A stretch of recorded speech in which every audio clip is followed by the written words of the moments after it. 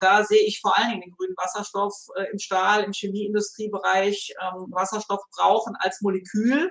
Und da muss auch der Fokus drauf liegen. Ich finde die Diskussion im Wärme, im Verkehrssektor, ähm, also wenn im Verkehr dann wirklich ein richtiger Schwerverkehr, noch nicht mal mehr Schwerlast. Ich glaube persönlich, dass selbst da die Elektromobilität äh, gewinnen wird, was man ja auch jetzt fast täglich liest.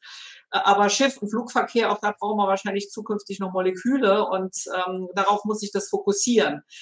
Ähm, der, ähm, ja, also im Verkehrsbereich ist auf jeden Fall äh, der grüne Strom da und alle Szenarien, auch inklusive der Bundesregierung, sagen ja, wenn wir bei 80 Prozent 2030 und dann 100 Prozent ähm, von uns aus möglichst spätestens 2040 äh, sind, dann haben wir damit auch alle Sektoren abgedeckt.